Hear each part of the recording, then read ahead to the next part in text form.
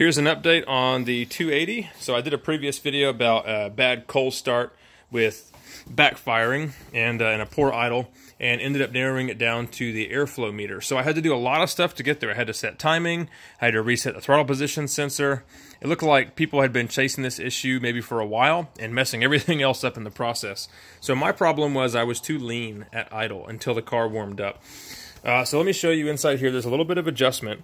If you're uh, wanting to lean or richen the mixture on the car at idle, what you can do is pop this black cover off here. Um, there it is. You'll have to go around the edge with a razor blade or something and break the silicone. There are a few things you can do.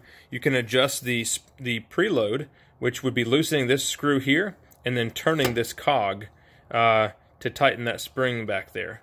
Um, that would be your, your spring preload.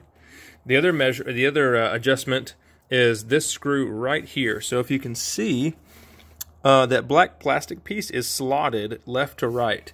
So you'll loosen that screw and then you can push on it one way or another and it will move those two little copper fingers, which are the uh, wiper arms uh, for this little board right here. So moving them this way would richen the mixture, moving it this way would lean the mixture.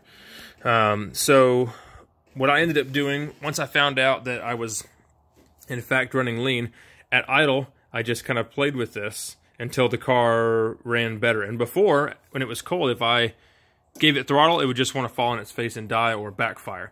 So I held this at a certain point and then gave it throttle, and I just did that until it was in the perfect spot.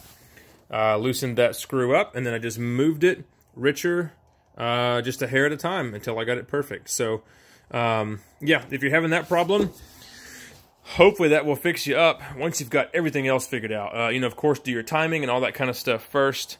But um, yep, there it is. This thing is this thing is ready to go.